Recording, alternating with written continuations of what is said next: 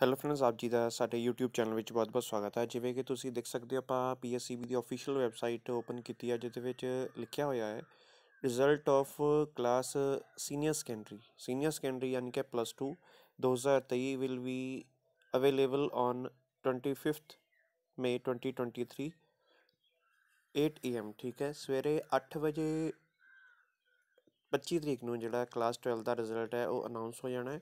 ਉਹਦੇ ਲਈ ਤੁਸੀਂ ਰਿਜ਼ਲਟ ਵਾਲੇ ਬਲੌਕ ਤੇ ਜਾ ਕੇ ਇੱਥੇ ਤੁਸੀਂ ਚੈੱਕ ਕਰ ਲੈਣਾ ਹਲੇ ਤੱਕ ਇੱਥੇ ਸਿਰਫ ਤੁਸੀਂ ਰਜਿਸਟਰ ਕਰ ਸਕਦੇ ਹੋ, ਲੇਕਿਨ ਜਿੱਲੇ ਹੀ 8 ਵਜੇ ਹੈ ਉਹਲੇ ਇੱਥੇ ਤੁਹਾਡਾ ਲਿੰਕ ਇਨੇਬਲ ਹੋ ਜਾਣਾ ਅਤੇ ਤੁਸੀਂ ਆਪਣਾ ਰੋਲ ਨੰਬਰ ਤੇ ਨੇਮ ਫਿਲ ਕਰਕੇ ਆਪਣਾ ਸਟੇਟਸ ਚੈੱਕ ਕਰ ਸਕਦੇ ਹੋ ਰਿਜ਼ਲਟ ਦਾ। ਇਹ ਤੀ ਹੋਗੀ ਪਹਿਲੀ ਚੀਜ਼। ਹੁਣ ਆਪਾਂ ਦੇਖਣਾ ਕਿਹੜੇ ਕਿਹੜੇ ਡਿਸਟ੍ਰਿਕਟ ਵਿੱਚੋਂ ਕਿੰਨੇ ਕਿੰਨੇ ਬੱਚਿਆਂ ਨੇ ਮਾਰਕਸ ਸਿਕਿਉਰ ਕੀਤੇ।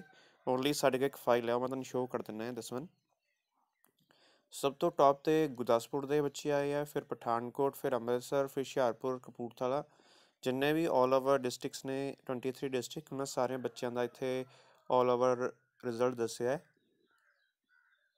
ਕਿੰਨੇ ਬੱਚੇ ਹਾਜ਼ਰ ਸੀ ਕਿੰਨੇ ਬੱਚੇ ਉਹਨਾਂ ਦੇ ਪਾਸ ਹੋਏ ਅਤੇ ਉਹਨਾਂ ਨੇ ਕਿੰਨੀ ਪਰਸੈਂਟ 올 ਓਵਰ ਸਿਕਿਉਰ ਕੀਤੀ ਅਗਰ ਆਪਾਂ ਗੁਰਦਾਸਪੁਰ ਦੀ ਗੱਲ ਕਰੀਏ 22439 ਬੱਚੇ ਹੈ ਜਿਹਦੇ ਵਿੱਚੋਂ 21746 ਬੱਚੇ ਪਾਸ ਹੋਏ ਅਤੇ 96.91 ਰਿਜ਼ਲਟ ਰਿਹਾ ਹੈ ਪਠਾਨਕੋਟ ਦੀ ਗੱਲ ਕਰੀਏ 6987 ਬੱਚੇ ਆ, ਜਿਹਦੇ ਵਿੱਚ 6757 ਬੱਚੇ ਪਾਸ ਹੋਏ ਹੈ ਅਤੇ 96.71 ਰਿਜ਼ਲਟ ਹੈ ਉਸ ਤੋਂ ਬਾਅਦ ਅੰਮ੍ਰਿਤਸਰ ਆ ਗਿਆ। ਅੰਮ੍ਰਿਤਸਰ ਦੇ 27283 ਬੱਚੇ ਆ 26317 ਬੱਚੇ ਹੈ ਪਾਸ ਹੋਏ, ਜਿਹੜੇ ਵਿੱਚੋਂ 96.46 ਇਹਨਾਂ ਦੀ ਪਰਸੈਂਟੇਜ ਹੈ ਐਵਰੇਜ ਕਹਿ ਸਕਦੇ ਤੁਸੀਂ ਇਹਨੂੰ?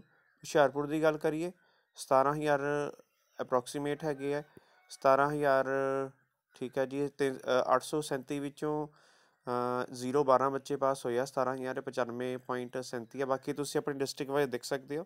ਲਾਸਟ ਵਿੱਚ ਗੱਲ ਕਰੀਏ ਬਰਨਾਲਾ ਹੈ ਬਰਨਾਲਾ ਦੇ ਸਾਡੇ ਕੋਲ ਬੱਚੇ ਹੈਗੇ ਜੀ 64 ਸੋ ਜਿਹਦੇ ਵਿੱਚੋਂ 5100 ਬੱਚੇ ਪਾਸ ਹੋਏ ਨੇ, ਤਾਂ 100 ਪਰਸੈਂਟੇਜ ਹੈ। ਸੋ ਇਹ ਸੀ ਐਸ ਦੀ ਅਪਡੇਟ ਸਾਰੇ ਬੱਚਿਆਂ ਨੂੰ good luck for result so ਕੋਈ ਵੀ ਤੁਹਾਨੂੰ ਪ੍ਰੋਬਲਮ ਆਉਂਦੀ ਹੈ ਰਿਜ਼ਲਟ ਚੈੱਕ ਕਰਨ ਵੇ, ਤੁਸੀਂ ਸਾਨੂੰ ਸੋਸ਼ਲ ਮੀਡੀਆ ਤੇ ਫੋਲੋ ਕਰਕੇ ਆਪਣੀ ਪ੍ਰੋਬਲਮ ਦਾ ਸੋਲੂਸ਼ਨ ਲੈ ਸਕਦੇ ਹੋ। So thank you friends for watching this video and for your valuable time.